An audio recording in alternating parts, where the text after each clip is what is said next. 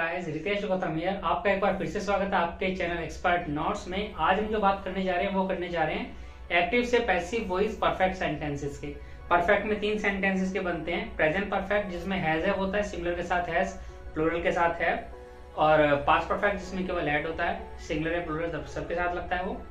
और future perfect जिसमें will have और शैल हैव का प्रयोग करते हैं। जिसमें फ़र्स्ट पर्सन आई और वी के साथ शेल लगता है, बाकी सबके साथ विल लगता है और फिर हैव लगेगा ओके इसमें कुछ भी नहीं है गाइस थर्ड फॉर्म हमें दी हुई होती है तो थर्ड फॉर्म तो बदलनी है नहीं, केवल हैज़ या हैव को हैज़ बीन या हैव बीन में बदल देंगे हैड को हैड बीन में बदल देंगे विल हैव या शैल हैव को विल हैव बीन या शैल हैव बीन में बदल देंगे ओके नॉट कहाँ लगेगा और आप कहाँ पर सब्जेक्ट का प्रयोग कर सकते हैं, आप सेंटेंस को देखेंगे, जैसे मैं अभी आपको एग्जांपल करा रहा हूँ। प्लस पे ध्यान देंगे ओके गाइस चलिए, चलते हैं बोर्ड की तरफ़। बोर्ड की तरफ़ चलने से पहले आप लोगों से एक छोटी सी गुजारिश है कि अगर आपने हमारे चैनल को सब्सक्राइब नहीं किया तो प्लीज़ सब्सक्राइब कीजिए। बेल आइकन दबाना ना बोले आप हमें अधिक जानकारी के लिए हमारे फेसबुक पेज पर फॉलो कर सकते हैं, या फिर हमारे टेलीग्राम चैनल पर फॉलो कीजिएगा। टेलीग्राम चैनल पे सर्च बॉक्स में जाकर आपको लिखना है at the rate expert notes हमारा चैनल आपको मिल जाएगा हमारे लोगों के साथ, और आप हमें ज्वाइन कर लीजिएगा ताकि हमारी तरफ़ से आने वाली कुछ भी इंफॉर्मेशन आपको दी जाए और आप उसे मिस ना करें। चलिए, चलते हैं बिना देर के। एक्टिव से पैसिव वॉइस परफेक्ट सेंटेंसेस के। ओके गाइस अब देखिएगा परफेक्ट सेंटेंसेस में जो हेल्पिंग वर्ब होती है हैज़ हैव होती है और हैड होती है। हैड पास्ट में होती है प्रेजेंट में होती है। तो has have had plus been लगा देंगे।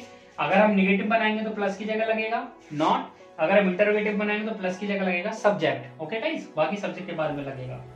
इसके बाद फ्यूचर परफेक्ट में होता है। विल या शैल प्लस हैव और इसको हम जब पैसिव में कन्वर्ट करते हैं विल या शैल प्लस हैव बीन आ जाता है। सेम कंडीशन प्लस का।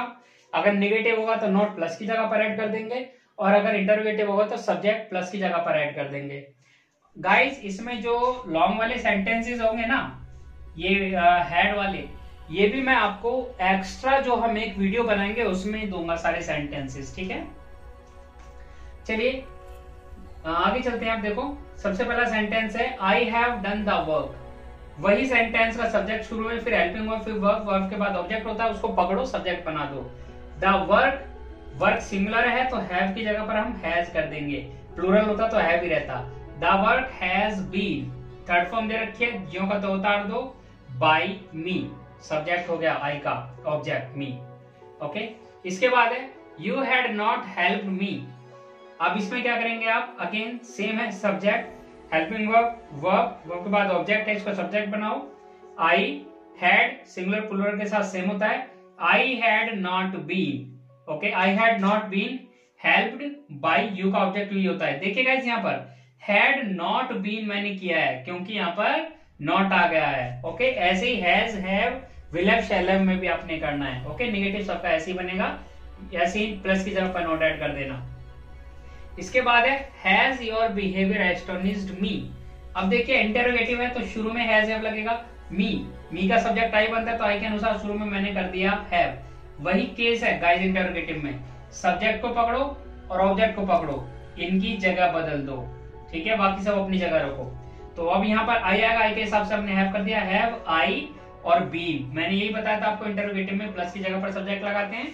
और बीन बाद में आता है सभी में। चाहे आप हेड वाला सेंटेंस बना रहे हो हैजअप वाला बना रहे हो विल हैव वाला बना रहे हो, सभी में सब्जेक्ट इसी तरीके से लगेगा okay have I been astonished astonished के बाद कभी भी बाई नहीं लगाते हैं गाइस एट लगेगा। Have I been astonished at your behaviour interrogative होता तो इंटरोगेशन मार्क लगा देते हैं। इसके बाद my mother will have been eaten the food okay guys अब अगेन सेम सब्जेक्ट यहाँ पर ये हेल्पिंग वर्ब हो गई, ये वर्ब हो गई और ये ऑब्जेक्ट है, इसको पकड़ के सब्जेक्ट बनाओ। सब्जेक्ट यहाँ पर हम लेकर आए द फ़ूड फ़ूड आई मैंने आपको बताया आई और बी के साथ शेल लगता, बाकी सबके साथ विल लगेगा तो विल ही रहने दो। The food will have been third form आ गया eaten by my mother okay इसके बाद है grand mother will not have told us I story okay अब गाइस यहाँ पर देखेंगे grand mother will not have told us I story तो again subject helping verb verb यहाँ पर ऑब्जेक्ट दो हैं, दोनों ऑब्जेक्ट सेंटेंस बना के मैं आपको दिखाऊँगा, पहले अस्से बना लेते हैं। अस्में आ रहा है वी वी के साथ शैल लगेगा, यहाँ विल आ रहा है तो यहाँ शैल कर देंगे। We shall not have we shall not have been we के साथ शेल लगा दिया not have been third form सीधे ऐसे के ऐसे ही आ गई टोल्ड आई स्टोरी बाई से पहले लिया बाई ग्रैंड मदर और इसे अगर आप दूसरी तरीके से बनाओगे लास्ट वाले सब्जेक्ट को लोगे तो ऐसे बनेगा आई स्टोरी अब यहाँ पर आई स्टोरी है वी या आई नहीं है तो इसलिए विल का विल ही रहेगा। I story will not have been told और यहाँ पर जो अस है, वहाँ पर टू लगा देंगे पहले to us by grand mother okay guys यहाँ पर इसको भी स्मॉल लेटर कर लीजिएगा। आशा करता हूँ गाइज़ आपको ये वीडियो समझ आया होगा। अगर आपको वीडियो अच्छा लगा हो तो लाइक ज़रूर कीजिएगा शेयर करें अपने दोस्तों तक। आप हमें कमेंट बॉक्स में बता सकते हैं कि आप किस टॉपिक पे वीडियो चाहते हैं। और, हमें हमारे टेलीग्राम चैनल पर फॉलो करना ना भूलें। हमारे फेसबुक पेज को भी आप फॉलो करें। मिलते हैं नेक्स्ट वीडियो में। Thank you thank you very much